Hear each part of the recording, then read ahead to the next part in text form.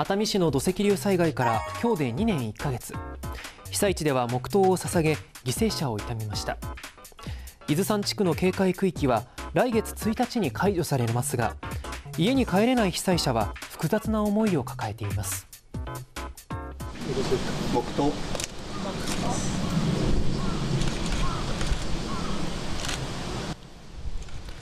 月命日の今日被災地では土石流が発生した午前10時半ごろ被災者や遺族が黙祷を捧げました。おととし7月3日熱海市伊豆山で起きた土石流災害では災害関連死を含め28人が亡くなりました。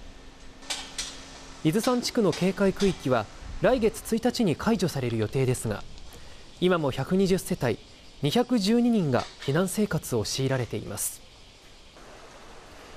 月命日には欠かさず黙祷に訪れている小松梢さんです。ここです。ここの古いあの石垣が全部うちです。あここからは全然なってないです。ここからなってない。なってないです。もう皆さん住んでます。生まれて以来73年ずっと伊豆山で暮らしてきた小松さん。来月1日に警戒区域が解除されますが自宅の石垣などが崩れ基礎から工事する必要があるためすぐに住み始めるのは難しい状況だといいます。もう帰れないです。だから本当はここが危ないんだったら他のところに行っても行かなければいけないのかもしれないです。ここだって危ないところでだけれども自分の思い出だけがちょっとあるだけでね帰れるんだったら帰りたいっていうだけのことなんですけど。その後小松さんは斉藤市長と面会するため熱海市役所へあの陳情書を出したのであの私たちのうちのとことかあの道のこととかちょっと疑問点なことを市長にちょっとお話ししようと思って。